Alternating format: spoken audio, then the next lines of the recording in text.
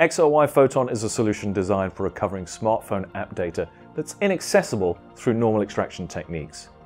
Now the power of XRY Photon has been expanded to cover hundreds of additional apps with a new manual option.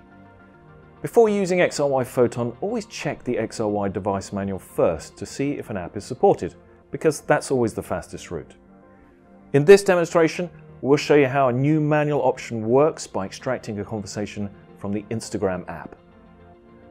First, put the device in flight mode and disable alarms to prevent interruptions.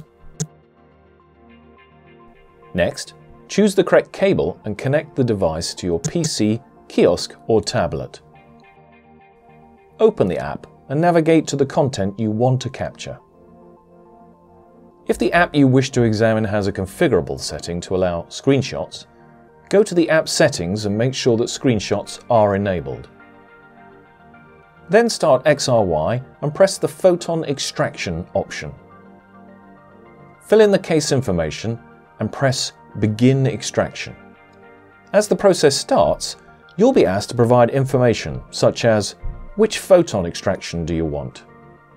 Next, decide how many frames you want to capture and in which direction to scroll. XRY starts the process of taking screenshots and keeps going until it's done. When XRY is done, you will have the option to make more selections. Open another view in the app to capture or switch to another app. The screenshots produced by XRY will be available for viewing and analysis in XAMN. Photon also makes written content available in readable text, which enables text search, filtering, and other types of analysis. Here's an example of an extraction that's been opened in XAMN for analysis. You can easily search for a name, number, or other information to quickly find important insights.